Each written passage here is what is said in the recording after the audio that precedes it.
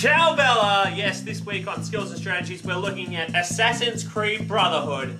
Easily one of my most favourite games of 2010. So let's help Ezio get all those unlockables, those hard achievements, as well as helping with some fighting in some of the single player missions and the multiplayer. And uh, yeah, let's hope we can help you out. Don't you just love travelling through Italy in this game? I mean, the culture, the language, and the women! Oh, the women! Oh my god, somebody better cut me off before I offend someone. What I would do.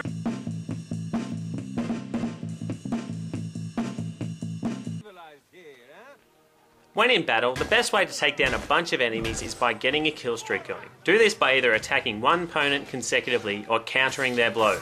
Then just keep pressing the attack button whilst targeting new enemies and he'll eliminate them one by one.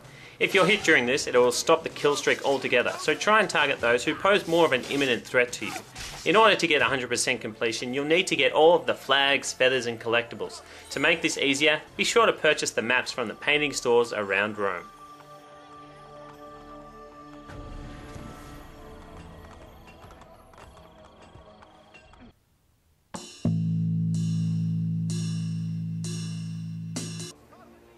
After completing Sequence 2, you'll have the opportunity to leave the Animus in the pause menu, except when you finish the game.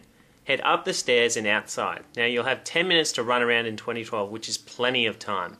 Simply climb the building you came out of, the Auditore Villa, and until you reach the top, walk to this spot and you'll have found an artifact, giving you the Dust to Dust achievement or trophy.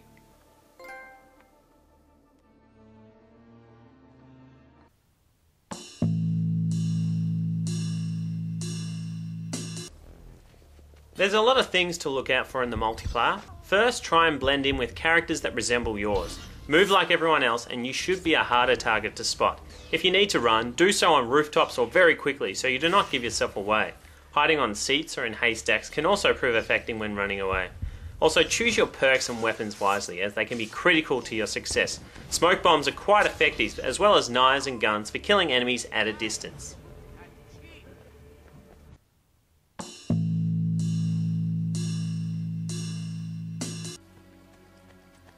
Now, if you're looking for all the shrines, you may have some trouble getting into the shrine of Cloaca Maxima.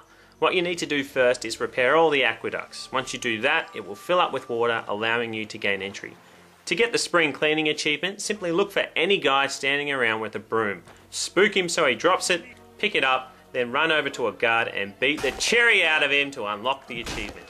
Also, those looking for Raiden suit in the game, all you have to do is beat all the Animus training missions with at least a bronze.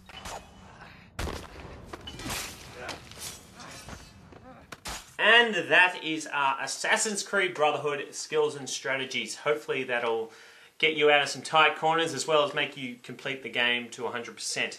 Now, as much as I love Assassin's Creed, and how Ezio is supposed to be this super sneaky assassin that hides in the shade and travels on rooftops and kills people from out of sight, I do find it a little weird that he's the only one dressed in complete white robes. And not just white, bright, Napisan plus white. Everyone else is in these dirty clothes.